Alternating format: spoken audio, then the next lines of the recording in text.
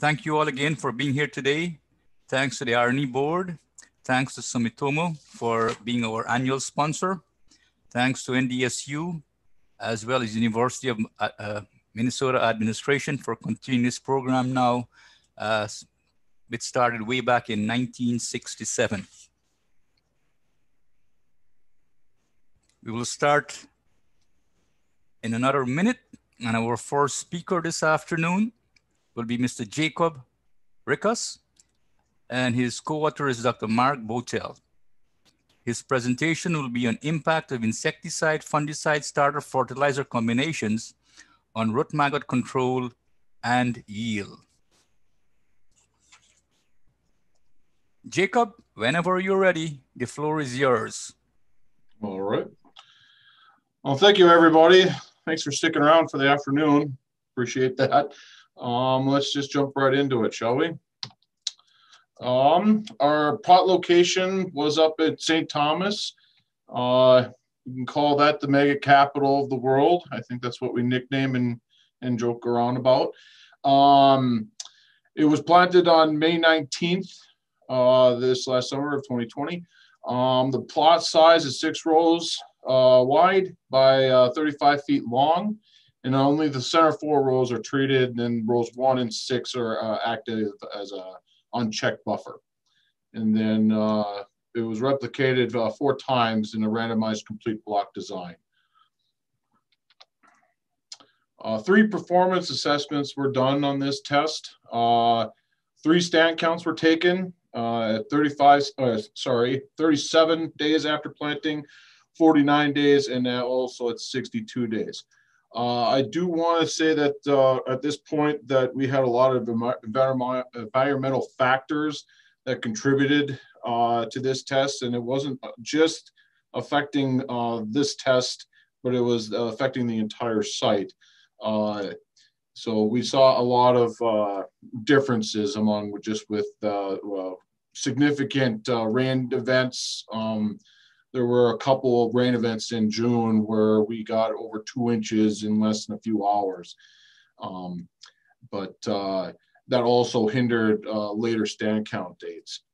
Um, and then also we did uh, root ratings. We took 10 samples per each plot. And uh, we did those on the very outside rows of rows two and uh, uh, rows five of the treated areas in the plots. And then the center two rows, rows three and four, were uh, harvested for a total of 70 feet for the uh, uh, recoverable sucrose yield. And then uh, all those assessments were then uh, ran through the uh, SAS program with a significant difference, very variable of 5% of error. Uh, this first slide here, or uh, this first uh, bar graph here I'm showing here uh, is the uh, injury that was done in this trial. And um, it, it's kind of a flip. the lower the value on that on that bar is, is, is the better, or the cleaner the beet is.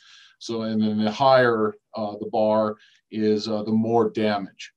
the traditional root ratings uh, is uh, a range of a zero to nine, uh, as illustrated here on the left.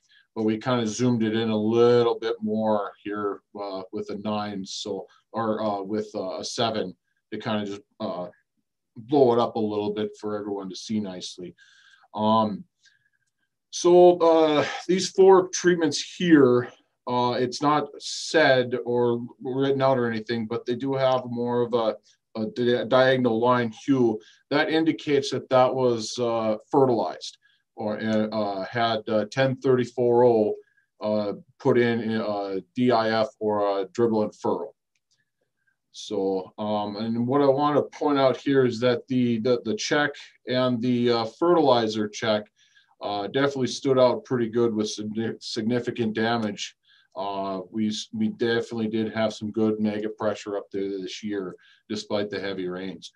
Um, but uh, uh, we can definitely see a clear uh, division two between these uh, first sets here, which is only one singular uh, application of insecticide, which was counter 20G. And then at the below here, at the bottom of the bases of each bar graph or each bar indicates the uh, the rate that that was applied. And then, but uh, this groupings here is only just with one uh, insecticide, whereas these lower groupings here or lower value on bars uh, had two insecticides on it, uh, being uh, Yuma, which is a generic version of chlorpyrifos, but it is uh, has the same uh, AI active ingredient concentration that of Lorsban 4E. Um, and then uh, we also did combinations here with uh, as well for another comparison, uh, comparative purpose. Um, but then uh, we also did uh, Azteroid in there that we mixed that in with together with the 1034O. And we also did uh, the, the post treatments for the second round of insecticide in these three purple bars here. Um, we did a, a mixture of Yuma with Quadris. Um, and then that also got banded on. Uh, it wasn't put on by broadcast. And then uh, we also did here uh, uh a treatment here with com combined with Thimet with a, a, Quadris band on that at the same time as well. And then uh, all these uh, post insecticides too were applied one day pre-peak, and that is not ideal. That is certainly wasn't the intent of what we wanted. Um, but uh, it did show, however, that uh, even with such a late application of insecticide, we still did have some good uh, reactions and uh, results from that, from just getting that application on. So here we have some uh, root comparisons uh, that we dug up later in, I do, I think that was damage rating was the end of July. Um, up here on the upper left is the check and the DR up here means the the average damage rating that it was uh, that it was assigned uh, for that particular treatment. Um, and you can see that we have a lot of uh, uh just the mass of the beets itself are severely reduced. You can just see that the, they're just smaller and a lot more root and fibrous. Um, you can see here that uh, we probably have some pretty good uh, maggot pressure on on these uh, smaller roots here, and uh, some tap roots are probably taken out as well, uh, creating more of that sprangled growth. Um, and below is also the fertilizer check, and also showed that there is some pretty good significant pressure in that as well, with this darkened scarring as well, which is a, uh, uh, a characteristic of the maggot feeding. And then to the two pictures on to the right then, um, would be the uh, hot, or I would say these two treatments were probably the best performing out of this out of this test. And uh, you could see a nice clear difference between the checks and the uh, the good uh, double uh, insecticide programs. And you can see that the roots are a lot cleaner, uh, a lot more more more uniform compared to the checks. And uh, you you see that a reduction of that scarring. So it's working there. And also this would be uh, similar carrying on. I got, I think I was, do believe that's the same treatment uh, down below the check that we saw earlier. But uh, these are some uh, the root comparisons of uh, two different rates of, of the counter, but combined with the Azteroid and the fertilizer. And uh, we are still seeing some pretty good scarring uh, even in the with a, a good uh, uh, high rate of counter, we're still getting some pretty good maggot pressure and some good damage here. Um, this uh, is a bar graph indicating the uh, stand counts uh, for the season.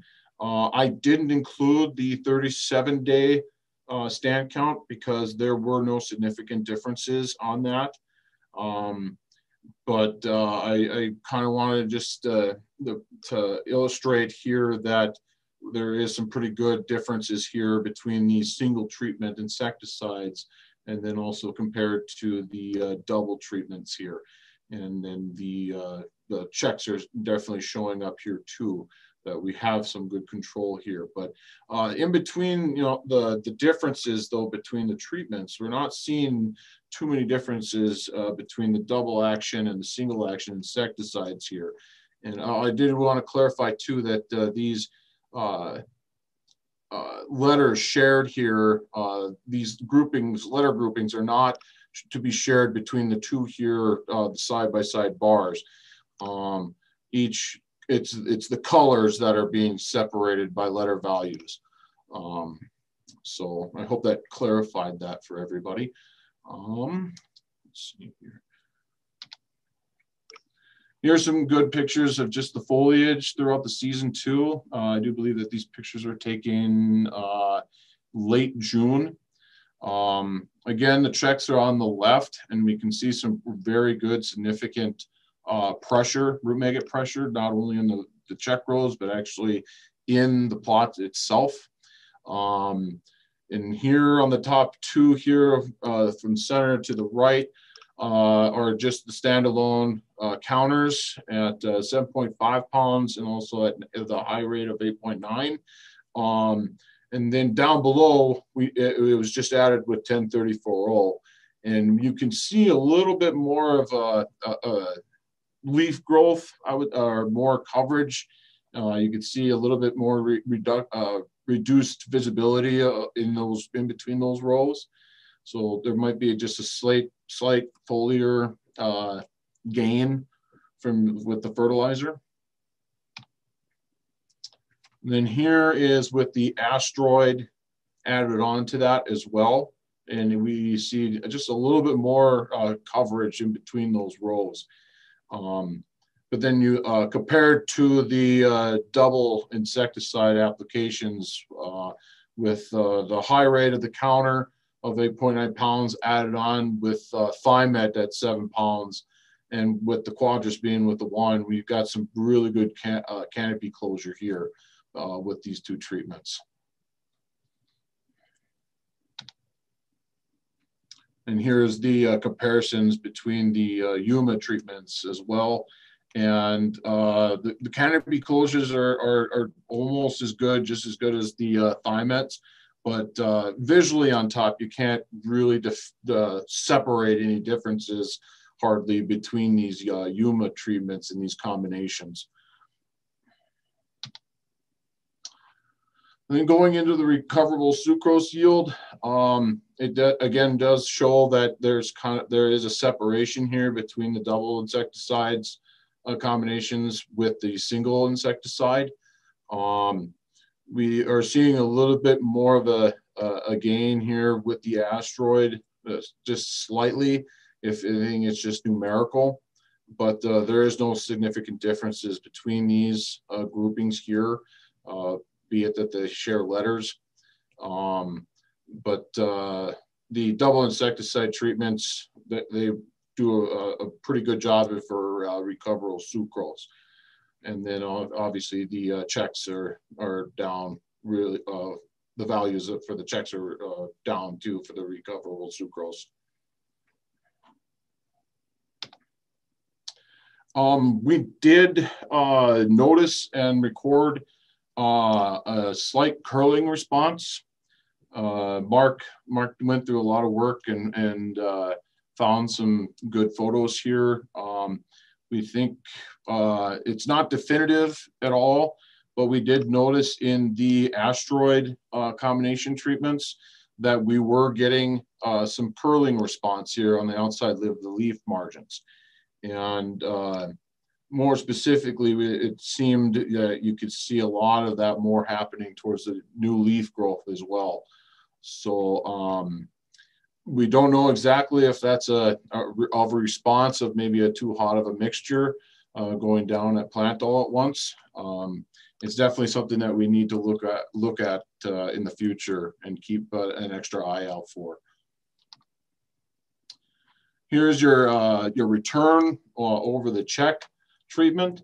Um, I guess the, the, the take home message on this chart now I would like to illustrate is that uh, the again, the, the double insecticide treatments are, are, are you're getting a lot of good return having that extra uh, application of insecticide on top um, compared to just uh, the standalone single time, uh, so, the single application of insecticide.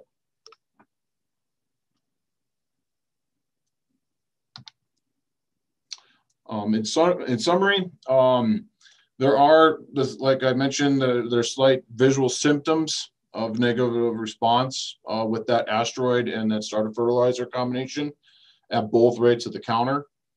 Um, but there was no significant differences between uh, with the, the damage ratings or the um, uh, recoverable sucrose. So we numer- uh, statistically, we didn't see that any uh, difference there, just the visual on top. Uh, and then there's no significant uh, yield re uh, revenue decreases from applying azoxystrobin, uh, either be it with uh, the Quadris combinations with the Yuma or with the combinations of Azteroid at, at plant. Um, and it's concurrent with also with the counter or Thimet. Um, and I we, we really feel that this research should be repeated again, being that it had uh, a lot of uh, environmental influence on that. And uh, if so, if it could be done, uh, we would like to try to replicate that in a non-pest scenario to try to separate even more, uh, eliminate some more influential uh, factors to see if there is any damages with these combinations. Uh, with that, I'd like to thank the, the Sugar Beet uh, Re Research and Education Board and their funding for our program. Uh, I'd like to also thank ag industry uh, uh, businesses uh, for the chemical and the seed for these trials. I'd like to thank our cooperator, Wayne Lessard, up in, up in St. Thomas. He's really great to work with. Um, I'd like to thank two of my fellow research colleagues here at NDSU and also collaborated work with uh, USDA. Um, thank thank you for all their hard efforts too with uh, sprays and uh, harvest pro, uh, harvest operations throughout the year. And I'd also like to thank my uh, my hardworking summer assistants this year, uh, Zane Miller, Brett Scarta, Keenan Stoltno, and Claire Stoltno. they're they're the ones that do all the the the good work to get get all this data put together. So I very much appreciate their help on that. And with that, do we have any questions? Uh, Jake, uh, there is one question in the uh, Q&A. Uh, I think probably you should uh, take that there. Okay. And uh, I can also answer that later as well for Deanne. Okay. But we probably better move on to the next presentation. Sounds good. Thank you, Mark. Thank, thank you.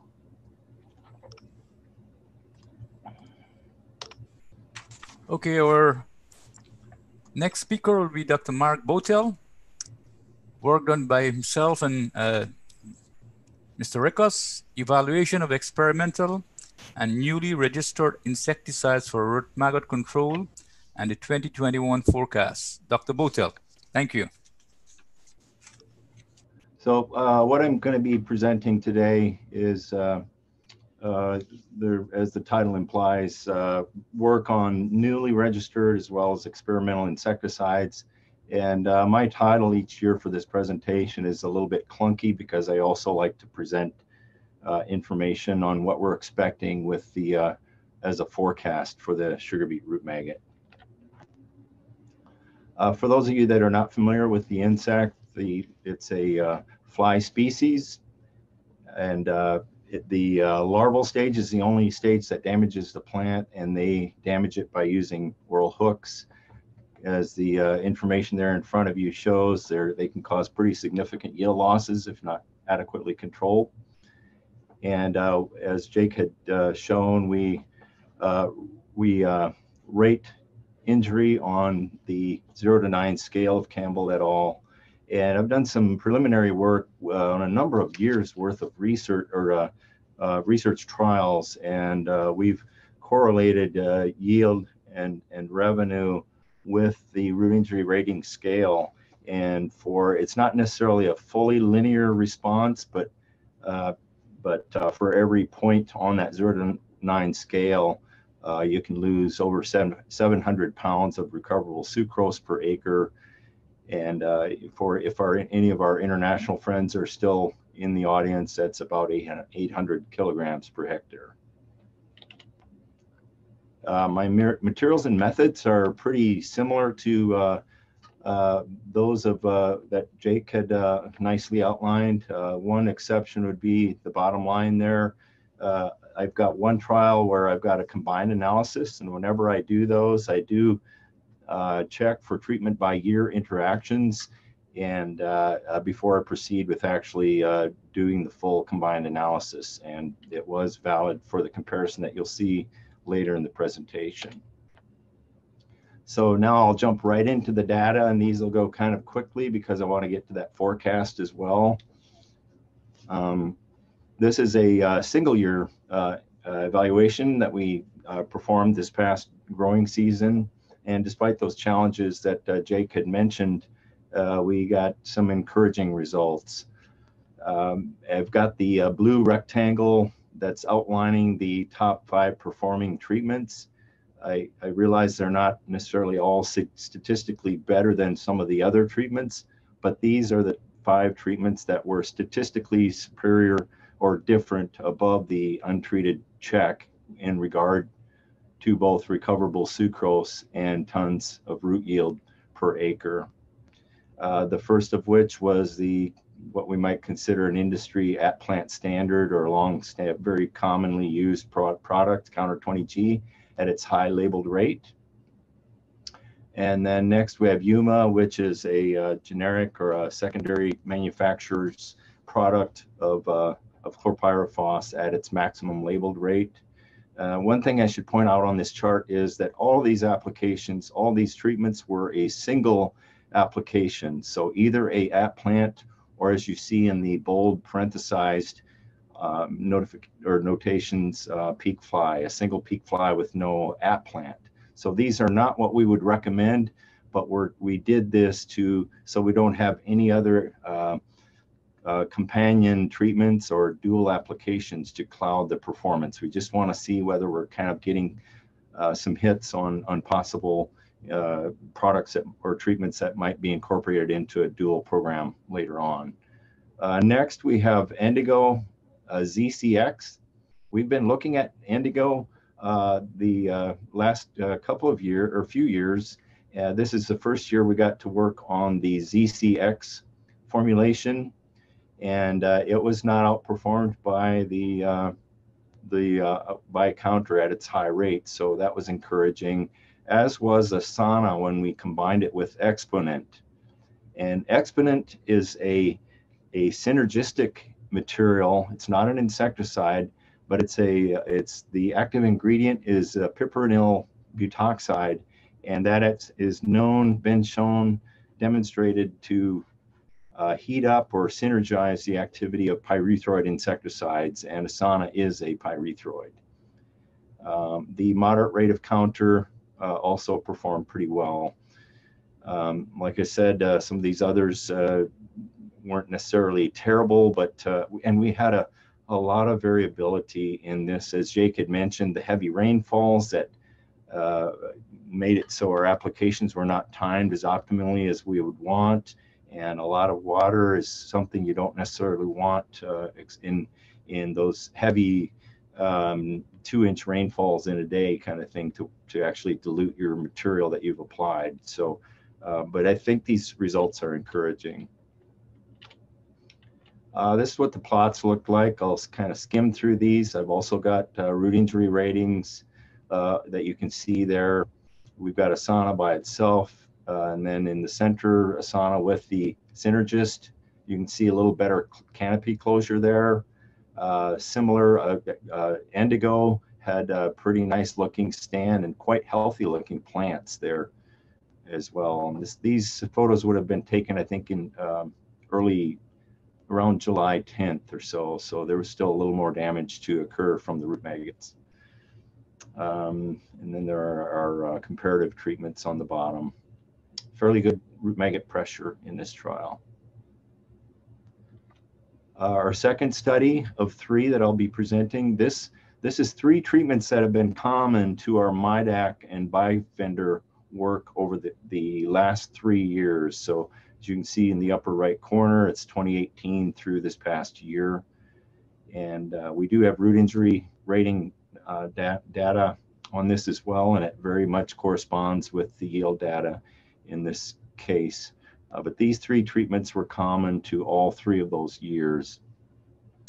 And what we see here, I've been getting a lot of questions on, you know, you know, interest in MIDAC and, you know, how does it perform relative to the products we know a little more about? And it appears this, this data would suggest pretty strongly that it, it is performs at a very comparable level to the moderate rate of counter, 7.5 pounds which is just, it's 84% of the full rate. Uh, the MIDAC in all cases or all years was applied dribble and furrow as Jake had described. Uh, next, I've got a data slide from our uh, third study presenting today. This one's kind of busy, but I've got it color coded uh, in a similar manner that uh, Jake had described for his. These are stand counts, uh, number of plants per 100 feet of row. Uh, they were, these were a, um, these were taken at a point where not a whole lot of root maggot feeding injury had taken place, or at least plants had not been taken out uh, to any significant extent at this point. So really what we're looking at is stand establishment. And uh, so the clustered bars usually have, they will always have a common element. In this case, the orange ones or yellow on your uh, far left are uh, counter at a couple of different rates, either alone or concurrent, not not mixed with, not put in the furrow with, but uh, dribbled in furrow with a banded application of counter. And then next in green, we've got MIDAC, two different placement methods. And then the bar that has the texture to it included a post-emergence application of Bifender as a broadcast application. And that, as Jake, Jake had mentioned, this one actually was even a little later. It was one day after peak fly, which was not what we preferred. But we had not only all of that rain, but we had days and days of wind that was uh, hovering around eight, 18 to 23 miles per hour and in small plot plot work, uh, you really can't can't risk uh, drift into another plot. So we had to wait. Um, the next cluster of bars is Poncho Beta as the base treatment. All of those had 1034O starter fertilizer with them in a T band. And then the second two, the two Poncho Beta bars that have texture uh, pattern to them, uh, one, they both had MIDAC and then the, the very far right one included Azteroid 1034O and MIDAC on Poncho Beta treated seed, um, all those being T-banded. And then the treatments are going to repeat to the next slide, so I'm kind of going through them more thoroughly here. Uh, we had two rates of bifender, and uh, both of those were T-banded. We found that pyrethroids tend to do better as a T-band, so we we did that with Bifender, which is bifenthrin. And then we have our fertilizer controls using the two placement methods and then an untreated check. Uh, no significant differences in stand establishment, which usually no differences is pretty boring. Maybe it is today at this, this hour in the afternoon, but it's actually a good thing, suggesting that we didn't have any significant deleterious effects on, on stand establishment. Similar to Jake's study, we did see there was a numerical reduction in stand. I can't even call it a reduction, but at least something to maybe uh, bear uh, suggestion that we should uh, continue looking at this further with the high rate of counter and the dribble and furrow of the 1034O. Uh, same treatments. This is recoverable sucrose per acre, and it, it is in pounds. Uh, essentially, we don't have, as, as uh, you saw in Jake's presentation, within these clusters, as far as like rate or tank mix, or not tank mix, but concurrent application uh, partners, if you will, we didn't see any significant differences, uh, reductions in yield from, for instance, in the counter group, the dribble and furrow of the the uh, fungicide or the the fertilizer. Uh, again, numerical with both treatments, but but not significant. Uh, MIDAC, uh, I would say this mainly suggests that dribble and furrow is probably going to be a little more efficacious, but I can't even declare that because these two bars are have at least one letter in common. Uh, the broadcast wasn't really effective of the bifender, but again, I think that has a lot to do with with timing because it was really applied about four days later than I would have wanted. So we need to look at that further. Um, this was kind of a surprising trend, at least within the Poncho Beta group. Uh, the Poncho Beta alone with 10340, um, and then we start adding components, adding MIDAC, and then adding Azteroid. You'd kind of think the more you're loading on there, um, you might be having a negative impact on yield. But th this is difficult to separate out because you've also got insect pressure. And uh, even some of the fungicides are no, have been known to have some insecticidal activity. I'm not necessarily suggesting that, but um, we we got good good protection of yield and good performance out of this uh, sort of the kitchen sink uh, treatment here. Uh, no significant difference between the two rates of bifender, although the pattern of performance suggests maybe that higher rate is better. Uh, this is really the rate, by the way, is 10.97, but uh, in the interest of space, I rounded up for presentation's sake. Uh, and then we, we did have significant reductions in yield not necessarily due to fertilizer, but we had these were unprotected as far as an insecticide. So summing up the insecticide work, uh, first the, the experimental entries in these trials, Bifender, the high rate uh, was comparable and not statistically outperformed by counter at either rate. Uh, Endigo, uh, similar, and so it looks promising as an experimental. And I believe both are being pursued for registration in sugar beet. So that's very good news. And uh, the, the catch is we need to look at this further because we independently started looking at Endigo, uh, and, uh, and uh, you know, it looks promising, but we've only looked at, uh, I believe the last, or I believe we've only looked at at plant applications so we need to pursue this further with research on foliar applications. Uh, with the registered materials, Asana was, I would say, performance was at least uh, enhanced by Exponent. There was not a significant difference between the Asana alone and the Asana with Exponent, but uh, but we, but when by adding the Exponent, it bumped the performance up to where it was not statistically outperformed by any of the other um, the standard materials that we tested. MIDAC, sorry, I'll go back. One more minute, Mark. Pardon me? Another minute. Okay. So uh, the, the big thing on this insecticide stuff is uh, we didn't see negative impacts from uh, adding 1034.0 with the application, but we need to test this further because it's a small data set. Uh, one real good year of it, and uh, there were those slight trends with the 10, 10 34 So um, here's what uh, we're looking like uh, the root maggot uh, situation uh, in 2020. 2020 replaced 2019 as the second highest root maggot fly activity year valley-wide in the last 14 years. So we're not we're not winning the battle so we have work to do in uh, regard to research and uh, and on the farm really. So hopefully we'll be able to help growers deal with that. Uh, as far as what the forecast looks like for 2020, here's what our forecast looked like in 2017, trending upward. 2020 looked like that, and this and it came to bear, and this is what we're expecting for 2021. The point thing to point out here is that the high, the intense pressure is is increasing within these orange orbs.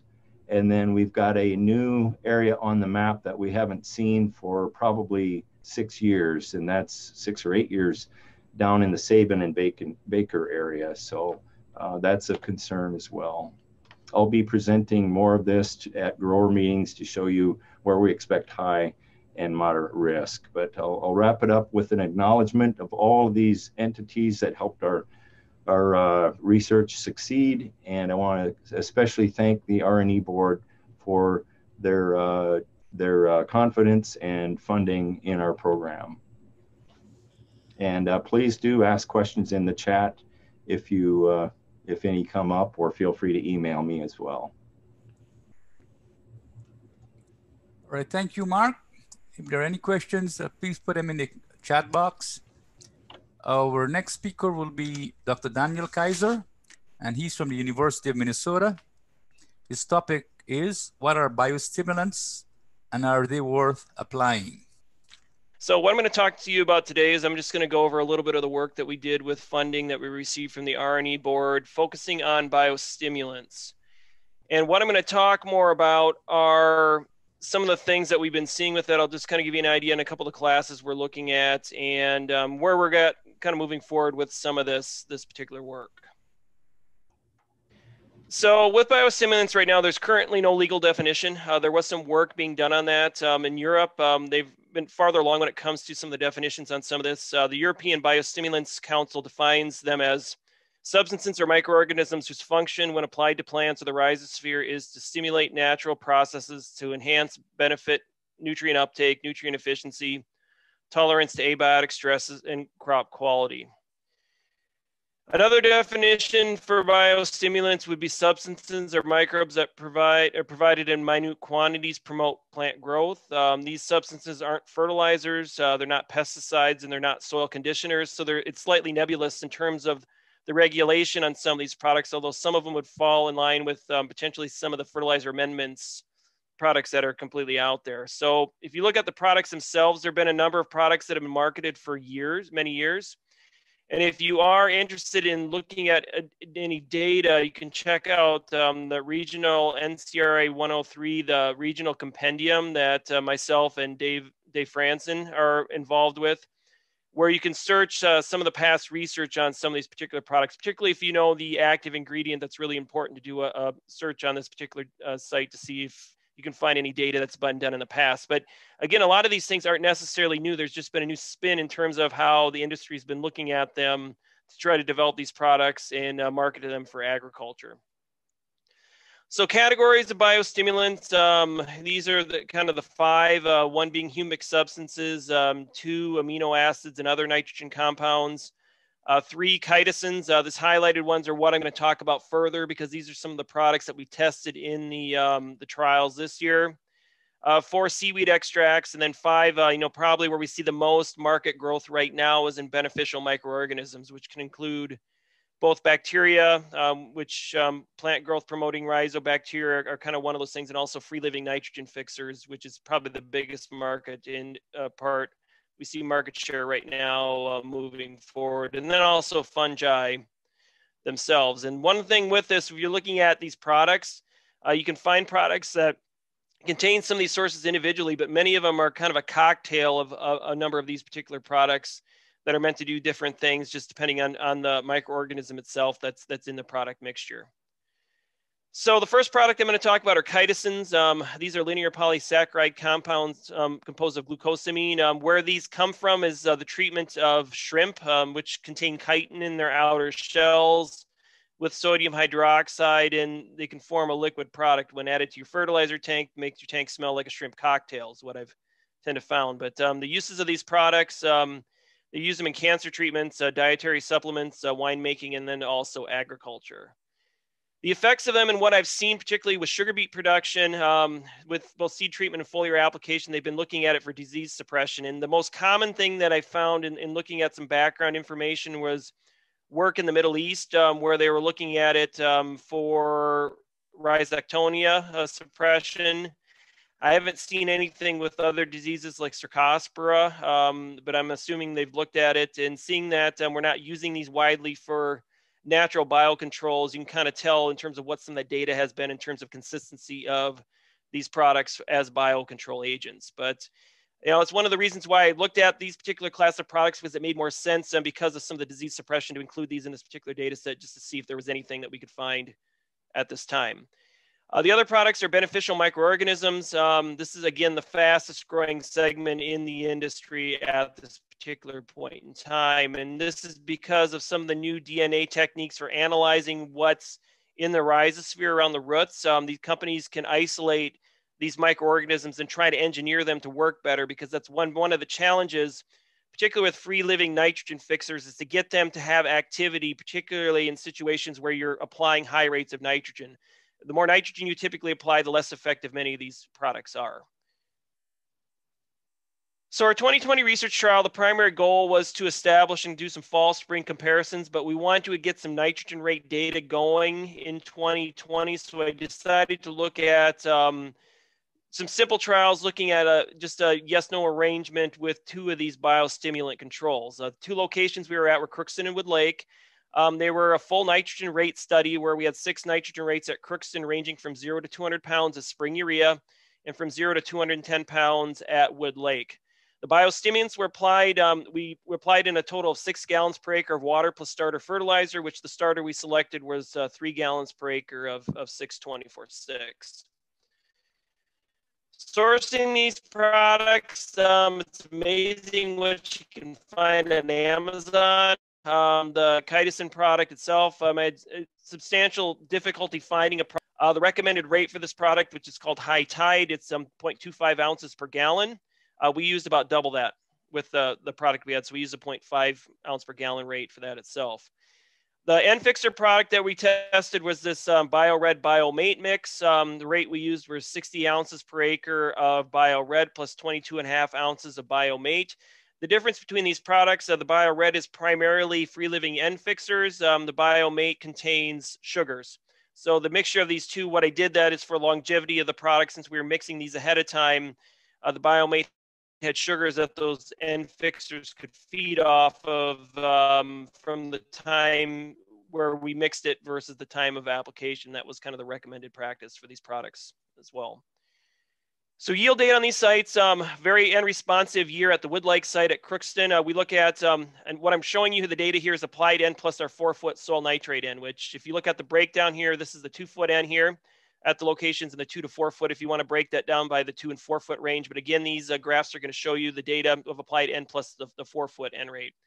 At Crookston, uh, N response up to about 80 pounds of um, applied N plus soil N. At Wood Lake, we are seeing uh, N responses anywhere from around 175 to that um, highest N rate we applied, which is around 240 pounds of total applied N. So Looking at this data, this is just summarizing across the biostimulants because we saw no effect of the biostimulants at either site. And if we were going to see them, I would especially expected to see responses at Wood Lake where we had such an N deficient situation where if we were going to get some response from that free living N fixer, we should have seen it and we just did not at that given location. Recoverable sucrose per acre, um, if we break that down per ton, um, we're seeing a maximum um, recoverable sucrose at around the same nitrogen rates that maximize yield. The, the exception was at Wood Lake, where we didn't see any um, general effect of N, although if you look at the numbers, the numbers were much higher as we approached our highest application rates. And uh, the significance at the site was about 0.15, so we're close to our, our accepted significance of 0.1 and it follows kind of the same general trend we saw at Crookston at maximizing near that point at which where we maximized yield at that given site. On a per acre basis, um, similar to yield, um, looking at it around 80 pounds um, recoverable sucrose per acre maximized at Crookston, and we saw a pretty linear response at the Wood Lake site. And that was an interesting site to kind of look at it. When we went out to that site, you really couldn't see the visual differences out there, but there were significant differences, particularly um, with the, the yield at that given at that site. So the kind of the thing here, if you look at it, nothing that I would have expected to happen differently than we've seen in the past and the relationship between um, recoverable sucrose and also um, yield with our nitrogen rate response data. One of the questions I did receive about midsummer was looking at some of the emergence data, and we did um, look at um, emergence. This is emergence uh, percentage, and I'm looking at just as applied N as urea. Seeing a fairly significant decline in our emergence as we increase N rate at our given locations. And the only time we really saw some difference between the biostimulants is where we looked at um, slightly lower emergence at these higher N rates at Crookston. And at Wood Lake, um, the emergence was, was similar no matter what we had for treatments biostimulant or not. To put this in perspective, though, that we know we, we did have a pretty substantial decrease in emergence. Um, it was about 20% reduction at Wood Lake up to that 210 pound nitrogen rate, we also saw about a 40% increase in root yield. So if you put the two together, really um, you see a lot of compensation for that decreased emergence um, in um, the, the sugar beet flexing the, the root size and um, seeing larger roots per plant um, with, with that, redu- rather that reduction in, in the emergence at these given locations. A couple of things we're looking at. Um, I had some questions last year on petiole nitrate concentration. We were looking at that. I took some samples in um, early to mid July. How this is just the data. Kind of see the relationship between the two. Um, generally, from this data, if we got above 850 part per million, we're at 100% maximum yield. Uh, the problem though is when we're, be- we're below that point, we're anywhere from 50% up to 100%. So we had situations, uh, particularly a sister site that I don't have the yield data reported here, from uh, Lake Lillian, which was just a simple a nitrogen rate in a lay-by nitrogen study, um, where those had very low petiole nitrate concentrations, but very high yields. We had similar yield potential at that site, close to 40 tons, as was, was seen at that Wood Lake site. So in general, in the biostimulants right now, we're kind of dropping that point and I'm shifting towards the fall spring application at this. Um, you know, I think it's going to be pretty hit or miss. And I, I don't know with particularly with a, a crop with a, a, deep taproot if you're going to see as much of a benefit as, as you might see with a crop with a fibrous root system such as corn. Uh, disease pressure, we didn't assess that, but just without without lack of a difference in yield, I can't imagine just looking at that that any of these products were giving us any benefit in terms of disease pressure. But again, it's two site years of data. This uh, usually these these biostimulants you need a lot of site years to kind of look at a um, probability model for many of these treatments.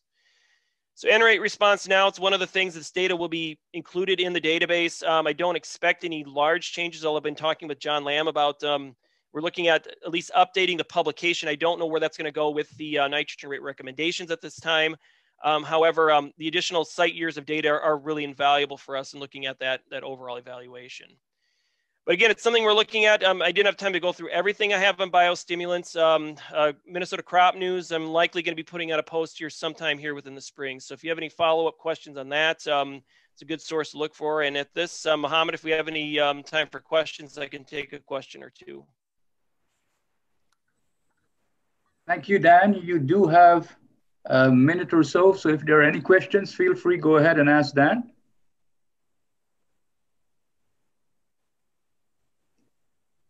If not, they will put it Uh, in. there, Mohammed, there, there is one question for Dan, and uh, I am back in full capacity, so I can uh, take over as moderator as well. Thank Go you. Go ahead. And I can't see the question, so could you? Sure, yeah, I'll read it for you. So where where we start where we start to find these biostimulant products to consider for production, sugar beet production, with a very wide definition of what these products are. So where's a good starting place to find information? Well, a lot of the issue right now is going to be finding products that might be specific or crop specific. And that's one of the things, if you look at a lot of the work right now, there's a lot of work to isolate specific microbes that are in the rhizosphere of specific crops. And that's the challenge I had was when we started setting up the study was finding products that weren't corn specific because that's been kind of the king right now in terms of products, particularly these free living nitrogen fixers. There's a lot of work on on corn. So it's um, you know looking at it in terms of, of a web search. That's kind of what I went and I looked at um, some published data just to see what's out there to see it, but it's very limited right now. So um, the main thing would be just following up um, with um, you know some of the extension researchers to see what they know, particularly those of us that are on that NCRA 103 committee uh, just to see because we're, generally in tune with um, some of the products that are out there just to know kind of what's being marketed but we can't keep up with everything so they, it is a challenge because again i think you look at these products they're going to be really tailored to specific crops and that's one of the things you're going to want to watch out for if you're using them because some things may not make sense for one crop it may make more sense for another All right, thank you. Our next speaker is. And I think she's, I see she's on the post. So uh, our, our paper, the next paper is liquid separated dairy manure in a sugar beet rotation presented by Dr. Melissa Wilson, at the University of Minnesota. So Melissa, when you're ready, go ahead. Hi, all. My name is Melissa. I'm an extension specialist and assistant professor, and I work on manure management. So I want to talk a little bit about a project that we started in 2019. So fall of 2019, we applied liquid separated dairy manure and wanted to see where in rotation it'd be beneficial for um, sugar beet. So as you know, a lot of the there's a lot of big dairies that are coming into western Minnesota into sugar beet growing regions.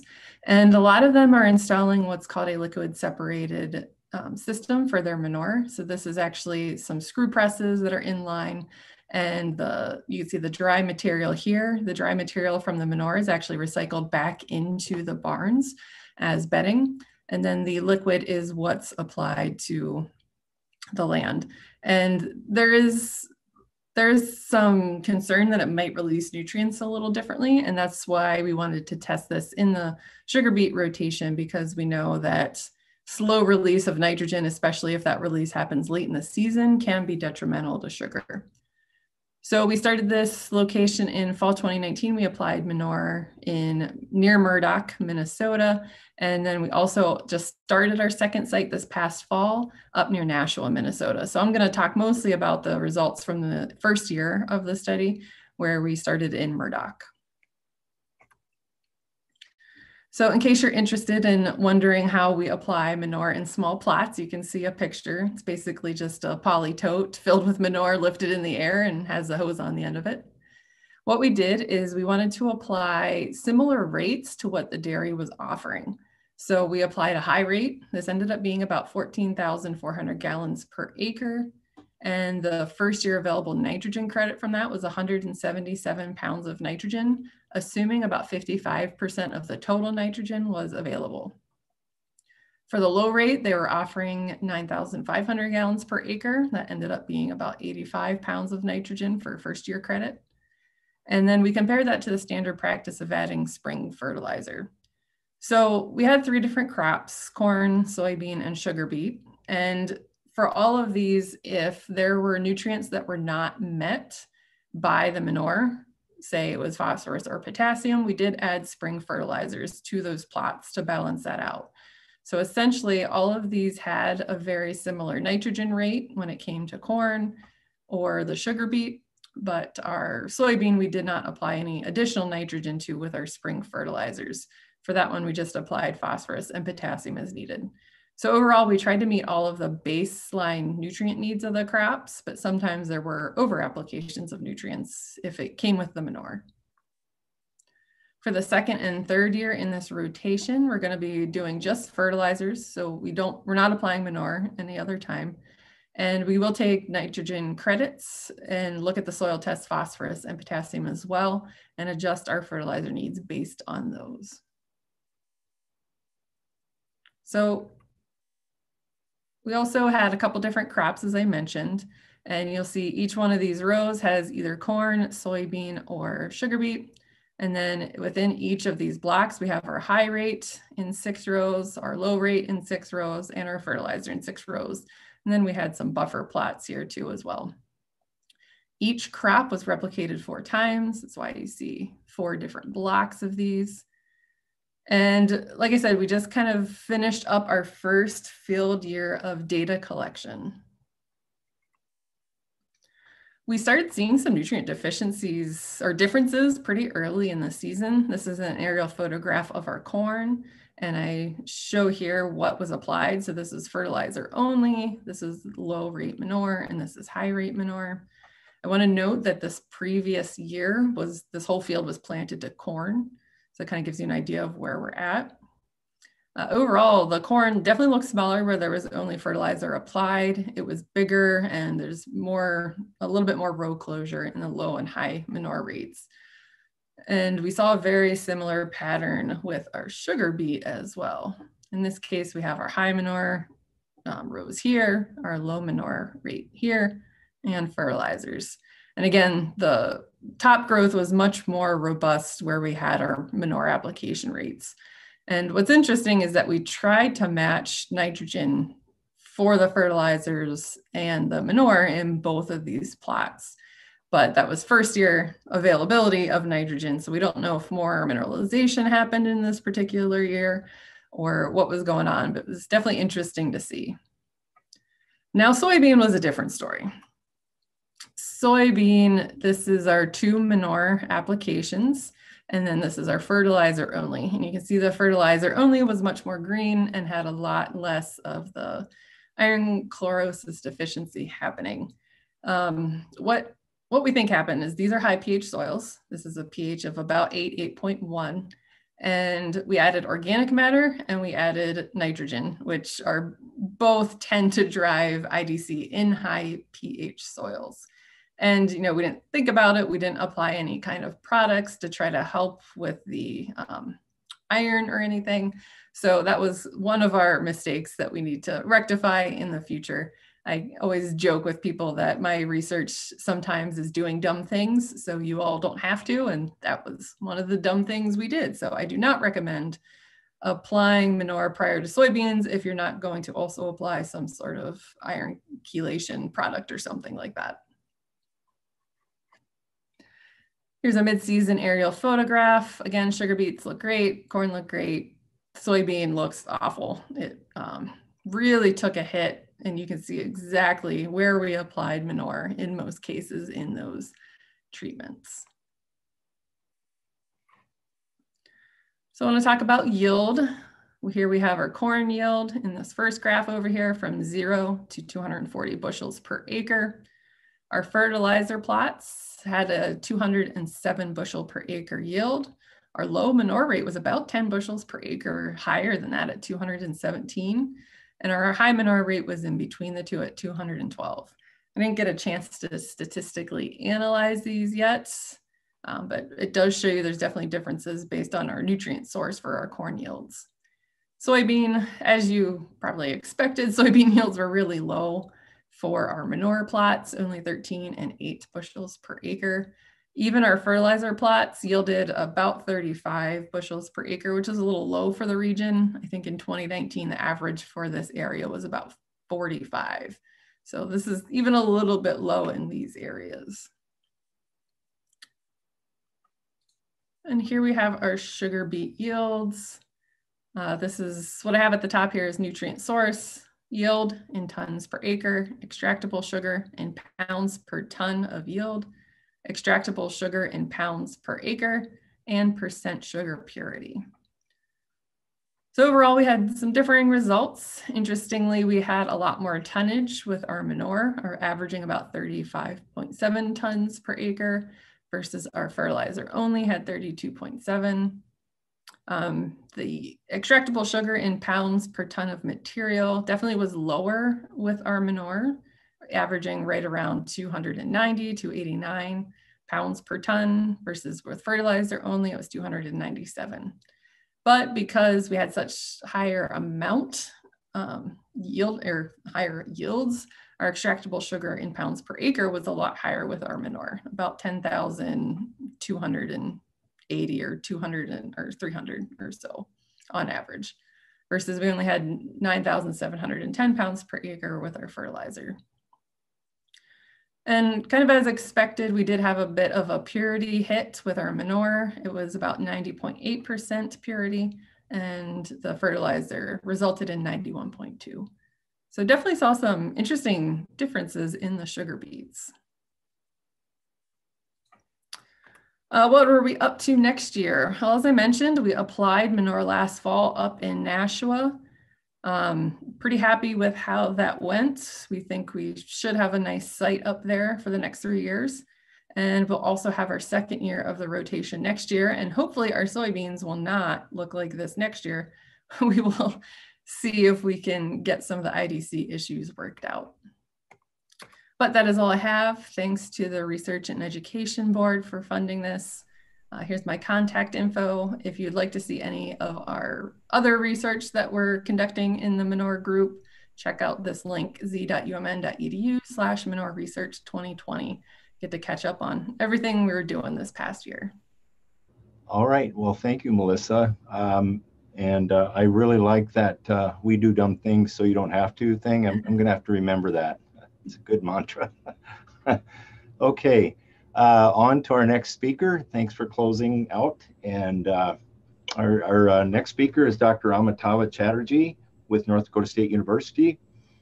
And he's going to be asking and hopefully answering, should we incur a loss by interseeding sugar beet? So today I'm going to talk about uh, if you are including this uh, interseeding these cover crops in sugar beet production system, whether that is going to lead towards uh, the sugar beet yield loss the because as you know that if we are uh, including this interseeding cover crops and cover crops growth needs some nitrogen, water. So when we are cutting down those resources because of this interseeding, whether that can lead to this sugar beet, uh, affect this sugar beet production or not. Before we are, I'm just going too much deep. I just like to recognize that uh, our uh, co-authors, that Shailesh, he is the graduate student. He moved to Penn State for his PhD. Marisol Berti, from Department of Plant Science. She uh, actually kind of helped us to design this uh, research and cover crop. And Norman Cattanach to lay out our plots and then harvesting. He is dealing with all in all for this uh, and guiding student also. So why do we need to think about interseeding cover crops in sugar beet? This picture is showing that how this beet field looks at the late fall if you don't have any protection for these fields. And as you can see, these soils are exposed to the wind erosion. So there can be a chance that significant soil is getting lost to the ditches and your ditch turns to the dirt. So for that reasons, we are thinking about that if we have some residue, some kind of uh, uh, protection against this wind erosion, then it can help to improve our soil health, productivity for the long-term basis. So we interseeded this rye and how it looks like in between those rows. Just I like to show you that picture. And this is that how it looks like just soon after harvest. So this sugar beet uh, after defoliation. And as you can see that these uh, residues, they are just lying in between those sugar beet rows. And uh, if you have a cover crop that overwinters, then you can see some growth during the late, uh, during the next early spring, during the snow melts, after the snow melt. And what it does that it can catch some nutrients from the leaching losses. So we have some benefits if we are having this interseeding and uh, like rye or that wind overwinters, or if you have suppose like that winter kills, suppose uh, for like pea or camelina or mustards, they can protect some uh, uh, soil loss after the beet harvest. That is the main ambition or main goal. And if we have like a crop, uh, interseeding cover crop that overwinters, they can actually reduce the nutrient losses in spring. So just let's talk about that. What are the cover crops we have? So we have four cover crop species. Uh, we have winter rye. We just uh, like seeded at 20 pounds per acre, camelina and mustard. Camelina 6 pounds per acre because it is a small seed, mustard 10 pounds per acre, and then pea because it's a bigger seed 20 pounds per acre. Now the important thing is that in case of interseeding, when we need to do this interseeding, because as you know, this sugar beet is Roundup ready, so you have to make sure that you apply this round after, just after this, you apply this Roundup ready, then you can uh, in, go for interseeding. Now you can see this 2018, 19, and 20, we play a little bit with this interseeding time. During this 2018 first year, we uh, interseeded in June 21.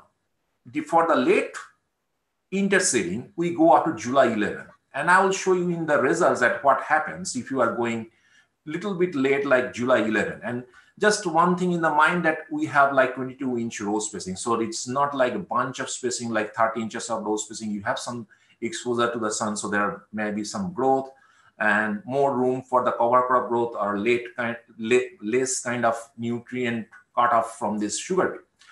For 2019, so we just make it a little bit early, like June 13 for the early one and June 24 for the late planting. And then for the growing season, for the 2020, we have planted this early interseeding is done in June 18 and late interseeding in June 26. So it is close, 2019 and 20 is close. For all these years, we did this study at Ada. Now, the thing is that we actually have another site, but it did not work out. So I'm just going to show you that those solid results that we have at Ada. So we have four cover crop species, uh, rye, camelina, mustard, and pea. And then we have two interseeding, early and late. Plus we have this control that is means without any cover crops. We have these things at three years at Ada at different parts of the field of the Brent farm. And we have previous crop as a previous crop, we have spring wheat, all are alkaline soils. We applied nitrogen, 130 pounds of nitrogen and all recommended NPK for all these crops based on the two feet soil test.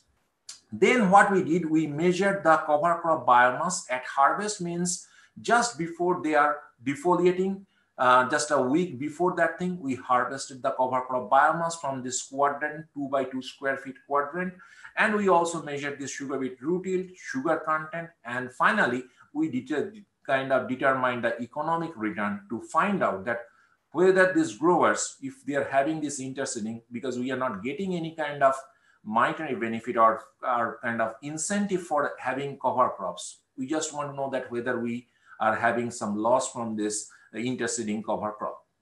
So we have this RCBD and four replications and we analyze these things in SAS 9.4 at P level of 95%. Before in Red River Valley, before we are talking about results, we need to first talking about the growing season condition.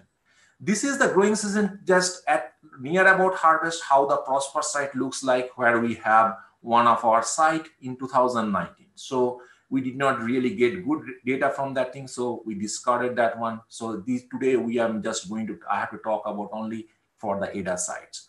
2018 it's really dry during the early growing season as you can see from these square ones and that is that all over the places. And these ones on the y-axis, I'm showing that deviation from the 30-year average rainfall. So as you can see, 2018, 19, and 20, all of this early growing season rainfall is comparatively less because they are like minus on the negative side. So they are like not below normal.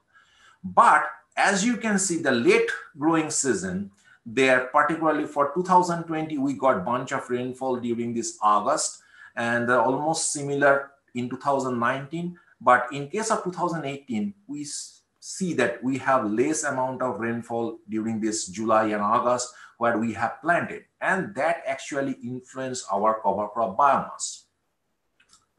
I just want to show you a short video that how the cover crop biomass harvest or during the defoliation looks like.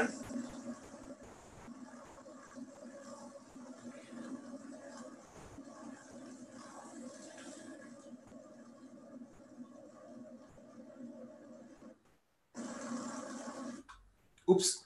So because why i showed you that one that because a lot of growers they ask me questions that whether whenever you are doing the harvesting whether it is affecting your uh, beet or not whether it is going to give you any trouble with the defoliator. Just i like to let you know because we have bunch of biomass this year we saw we heard some sounds whenever it is defoliating because if it is if it is wrangling in between those spokes but before that, I did not hear that much of noise during this uh, defoliation or anything.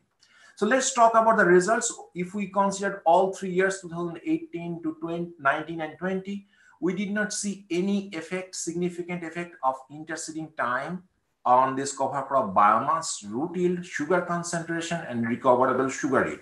Same thing for this cover crop species. We did not see any kind of effect. And as you can see that talk, I will talk about in next couple of slides, these statistics, you know, it is sometimes it is just like Mark was showing that, well, it's all non-significant, but it is good. Yes, because uh, all non-significant means we have no significant influence, either positive or negative on cover due to cover crop on this all these parameters. But what we observe that if you are considering the year versus this interseeding, that is going to affect on all those things. So it depends on your growing season condition, which some years you can see some benefits of cover crop, some year it did not show you some cover crop effect.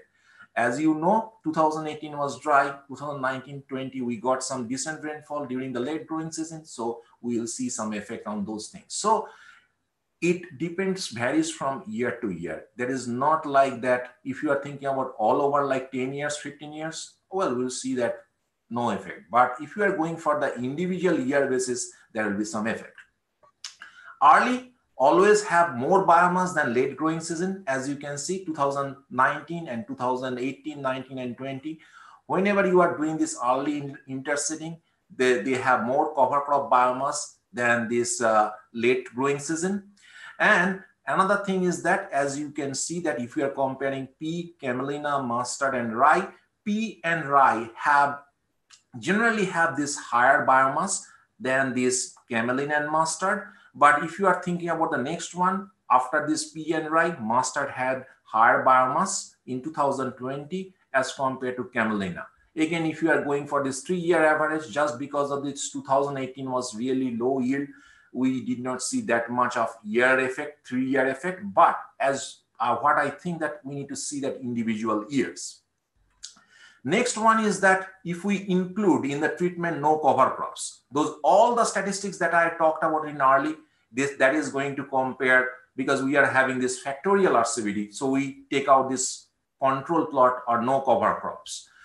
Even if we are including this no cover crops or control, then we can see that only 2019 has some effect on this yield and sugar. And what is that one?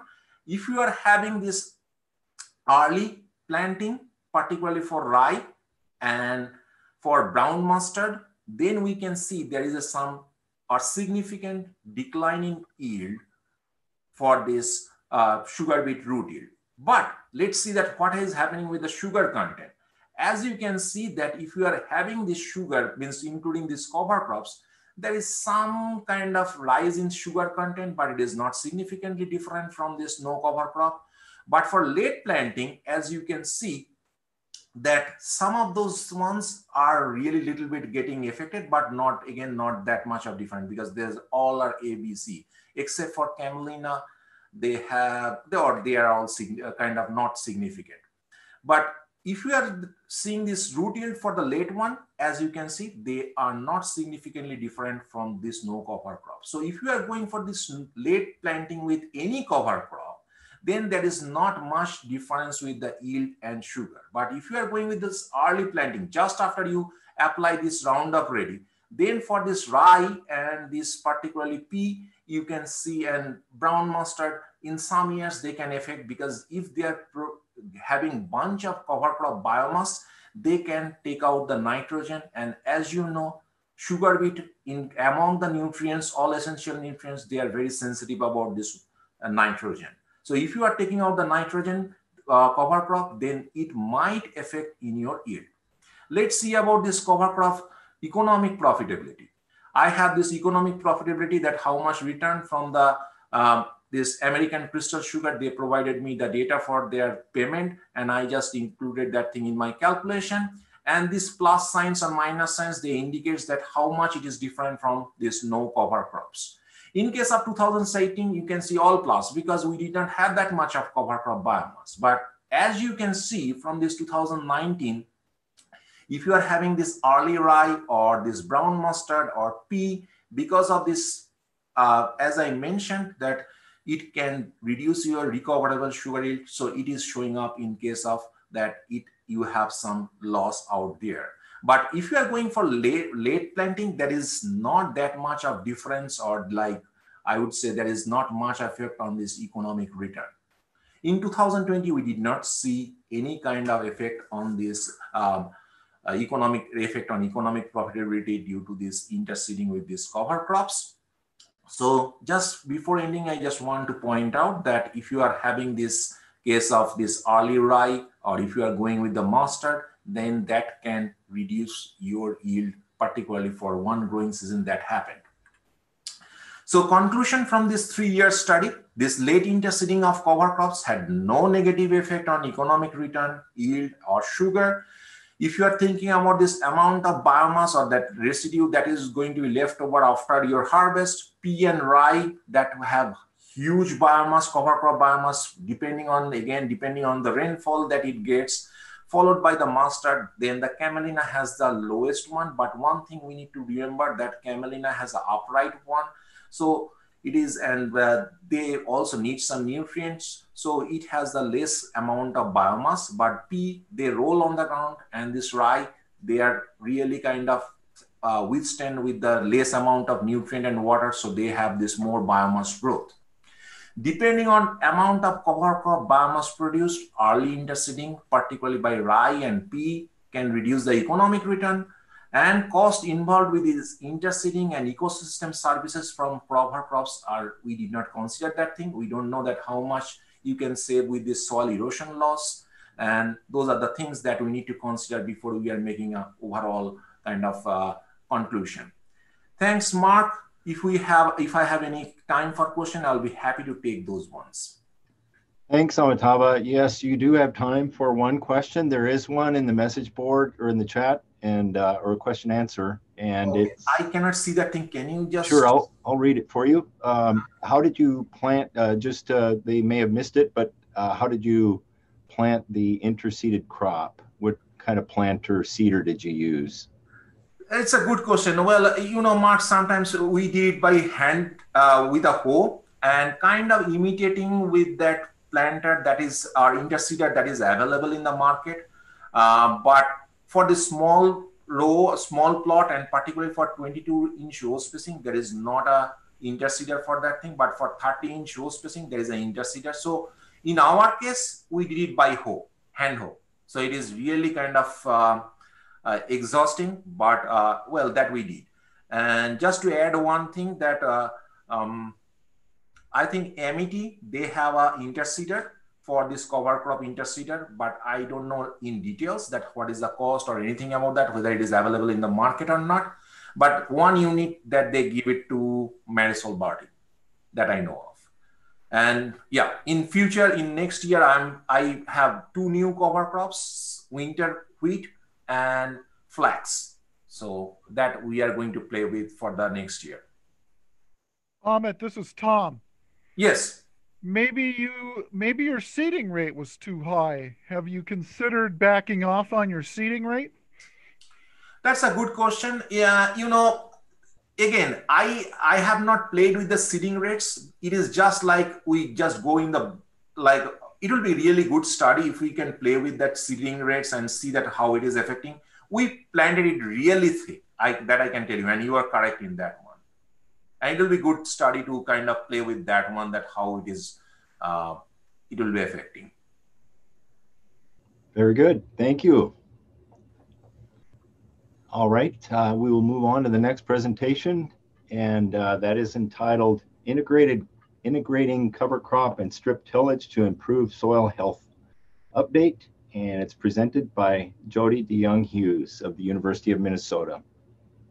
Next year, we'll have a lot more data to show you. This year, what happened in 2019 is it just, um, or in 2019, not 2020, we got the grant in the spring of 19 and was hoping to uh, get this uh, project going, but it just rained and rained and rained, and we could not get in to get in our cover crops in the three locations that we were at.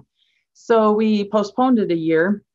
And the three locations that we have, we have Wayne Tormo near Granite Falls, and we have Noah Hultgren, which has a field near south of Danvers. And then we also have Brian Ryberg, while in he gave us a field even 20 miles further away from my home. Thank you, Brian. And it's near Winthrop. And we had three treatments and it's replicated three times, 22 inch rows, the full length of the field. And it most all three fields were around 23 or four acres in total. And the one practice was whatever they normally use. And so for two of them, that's chisel plow or disc ripping ahead of time. And then uh, one was strip till after the corn. Okay, I'll back up just a little bit. This year is corn. And so um, in the fall after harvest, they will either chisel or disc rip. The second treatment is they'll do strip till. The other treatment was that we uh, put in early season cover crops, and then we're going to strip till this fall. And then uh, late season cover crops, strip till in the fall. So those are our four treatments.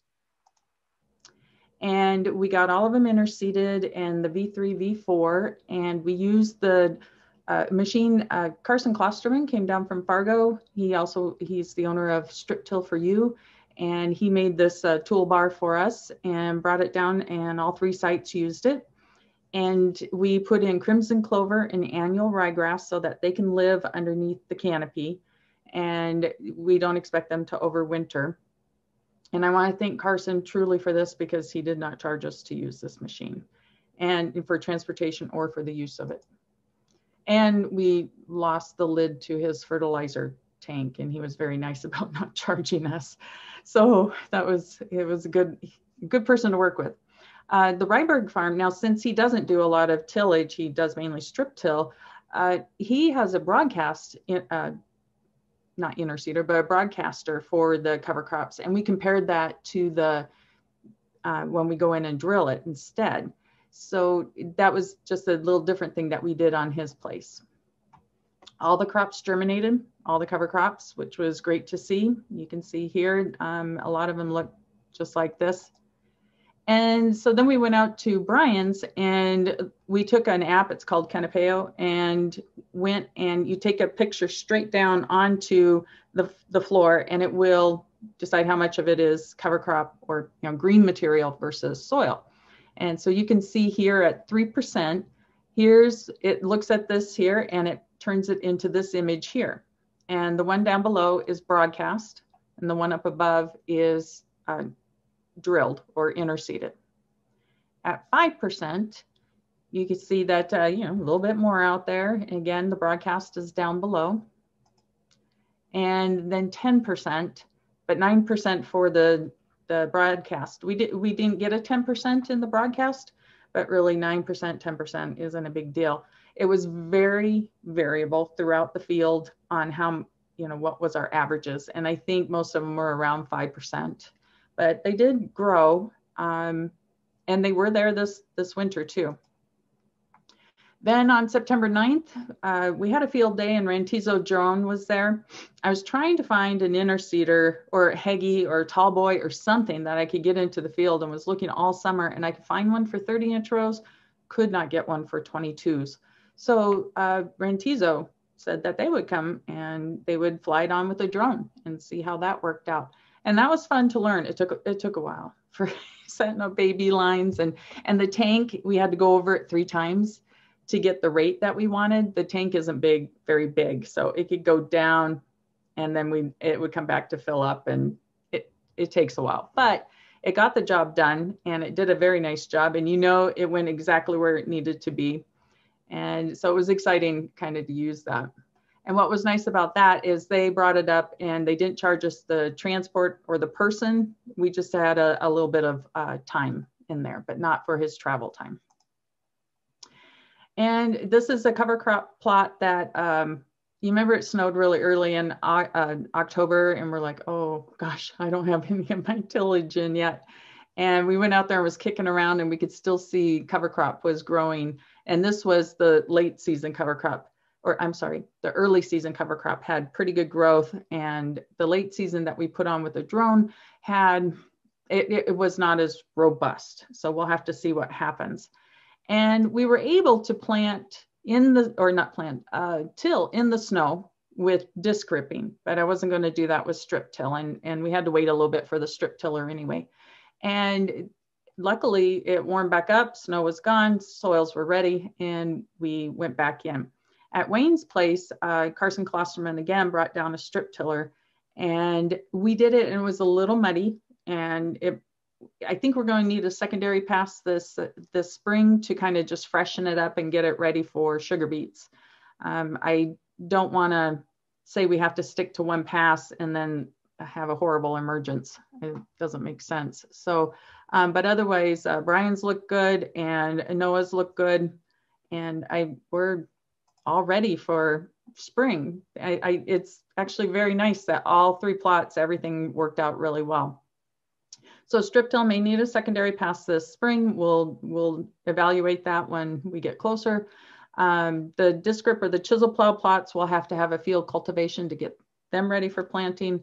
And then after everything's uh, ready, we're going to assess how much of the cover crops grew and continue to grow and seedling damage. So after we plant, we'll go back out there and, and rate that. And we will also do a weed pass too to see um, did the rye help smother out and have a high enough biomass that maybe we don't need our first pass of herbicides. Don't don't quote me on that. I'd get in so much trouble with the university. So we're going to see, uh, you know, what kind of benefits we could get, and then of course we're going to go to yield, and um, I'm kind of excited about all that. We're a year late, but it's um, I think it was worth it because this year was really nice, and and we got uh, some really everything got in very timely. So uh, do I have any questions? Jodi, you have awful lot of corn residue on the surface. Are you worried about that? Yeah, I mean, we had really good yields. Um, no, I'm not. Uh, that's what, that's also when we'll evaluate if we need a secondary pass or not. Mainly just to push the residue to the side off the berm so that the, the sugar beet has pretty much a black berm to plant into. Other questions for Jodi? Okay, uh, yes, we do have one in the Q and A thing, and uh, they were asking about what your row spacing was. 22 inches for all three. Okay. I'm really pleased with how many people stayed on uh, a full the full day. Uh, wonderful crowd. Um, uh, excellent questions were asked as well. Um, I guess uh, maybe I should open it up for questions for any of the other speakers. If you didn't get an opportunity, uh, if you have one for Jodi, something comes to mind, please uh, do ask. If you want to know the soil, that's a soil up by Crookston behind me there. Okay, that uh, uh, Larry Smith had some color, colorful words for some of the soil up there, I recall. I can imagine. All right, good afternoon again. Thank you, Mark, Mhm. for carrying through. Um, we have some people, would like to thank those people, especially from Europe. I saw Anja is still on in Serbia. So thank you for staying. It's about 11 o'clock over there. Time to drink some milk tea or whatsoever cool beverage you like at this time. I saw Anne Fenwick and um, a lot of our colleagues uh, from Michigan, from Idaho, Oliver, uh, Peter Regitnig. Uh, thank you for staying on. Sorry we can't have you here uh, this year, but hopefully we'll have you around next year. Dr. Albert Sims, uh, thank you for your service to the uh, industry and the university. Thank you very much. Dr. J- uh, Jacob uh, Butkin, congratulations on your award. Dr. Tom Peters, congratulations on your Distinguished Service Award. All my fellow researchers, thank you. Thank you for the work you do. Thank you for presenting the research. And then thank you for making this information available to our producers. As we indicated earlier, we'll have recordings for you, um, especially for the board members if they need to look back at any specific uh, area. So as soon as I have that available, I will let you know. Uh, thanks to um, and do that.